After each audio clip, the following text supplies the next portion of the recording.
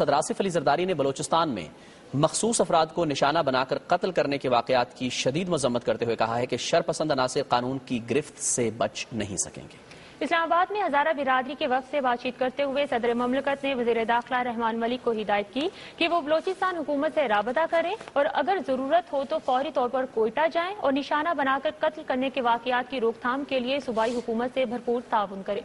सदर आसिफ रिजरदारी ने तमाम मुतल हुकाम को हिदायत की कि बलोचिस्तान में हजारा बिरादरी को निशाना बनाने वालों के खिलाफ फौरी और सख्त कार्रवाई की जाए और मुलजिमों को इंसाफ के कटहरे में लाया जाए। सदर ममलकत ने हालिया वाशियाना और गैर इंसानी कार्रवाइयों में हजारा बिरादरी के अरकान के कत्ल की शदीद तरीन अल्फाज में मजम्मत करते हुए कहा कि उनके जज्बात पूरी बिरादरी तक पहुँचाए जाएँ।